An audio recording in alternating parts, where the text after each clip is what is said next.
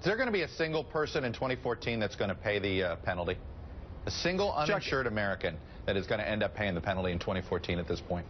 Uh, Chuck, I can't, I, I, can't talk to you about how many people are going to be subject to the uh, penalty. I can't say that in Massachusetts uh, you saw a rapid decrease in the number of uninsured because when they had choices, people signed up. And that's what we are seeing today.